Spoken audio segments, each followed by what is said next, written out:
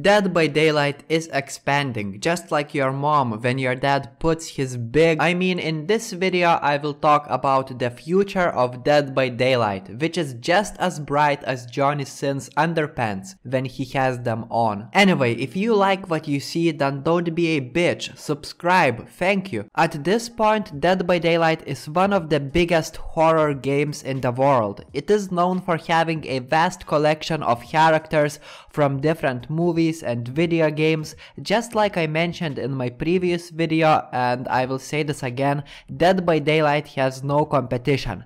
And I know that games like VHS could compete with Dead by Daylight, but at the moment DBD has no competition whatsoever. That makes the player base of Dead by Daylight grow rapidly, so everybody who says Dead by Daylight is a dead game is just an idiot. We all wonder what's next for Dead by Daylight. That's exactly why I love games like this, because you will never know who is the next killer, who is the next survivor, will it be the licensed chapter or no, will we get the new map. Loyal Dead by Daylight players are always looking to the future and we like to speculate. And talking about the future of Dead by Daylight, I have some good news for you.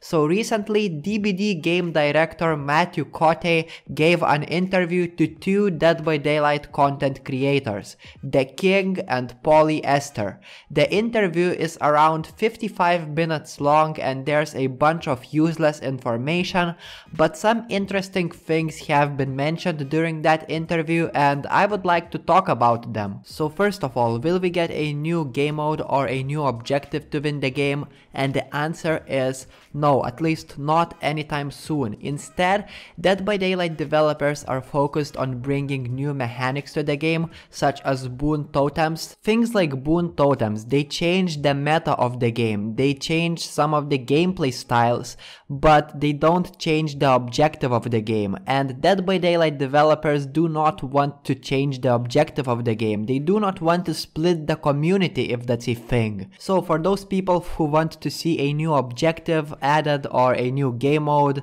dream on, Dead by Daylight will not have that anytime soon. Actually, I'm one of those people who would like to see a new objective added. but anyway, let's move on. The most interesting part of this interview was when Mathieu Cote was asked what is his dream related to Dead by Daylight, what would he like to see in the future for Dead by Daylight, and he said that he would like to see original Dead by Daylight characters in other video games. Imagine how cool would that be? Imagine you open the new Resident Evil game and you play against the nurse or the huntress. That's fucking awesome. Or in Smash Bros. The Trapper, just like he mentioned. And you know, it's a big possibility because if he wants it, I think the whole company is ready to give some licenses to well-known video games. There also always have been a lot of requests to make a Netflix show about Dead by Daylight and Mathieu Cote has never said no and it's a big possibility. In fact, one year ago or so, Dead by Daylight leak leaker uh, showed that there are some game files related to Netflix. Maybe it was related to Stranger Things, but I truly believe that we will see Dead by Daylight Netflix TV series based on Dead by Daylight with original characters. That would be fucking awesome. And with the passion for Dead by Daylight developers to add new licensed chapters such as uh, freaking Pinhead uh, and going on and on, I can see that this game will go for years and years. And nobody knows what will happen in the future, but I'm so optimistic.